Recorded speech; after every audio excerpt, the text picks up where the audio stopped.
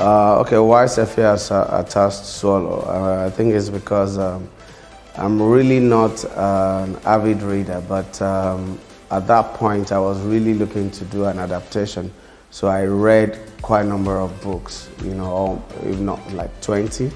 And um, Swallow was one of those books that really caught my attention uh, for many reasons. One, I like the fact that it's a period film set in the 80s. 80s was when I started becoming a more boy.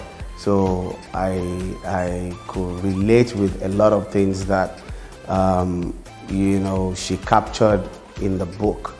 And more so, um, it was quite a complex book to, to adapt. And I like the complexity. And I thought, okay, let me give it a shot. Um, and Sefi Atta is one of the best, you know, we have in this country. And um, I don't see why, uh, I mean, she's written quite a number of, you know, great books. So, uh, so I also thought, okay, this is a good, um, you know, avenue to have a good collaboration with a good writer.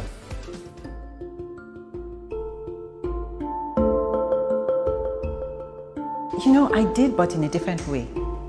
And I don't know if I should reveal this, but I worked in a bank for a while.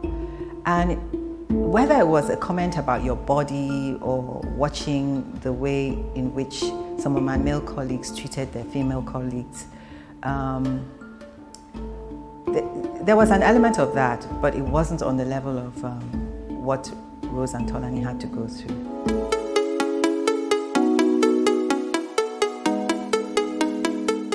Rose was Rose was so many things. So you can't say, oh, I liked her when she was angry or when she's feisty or when she was happy or sad.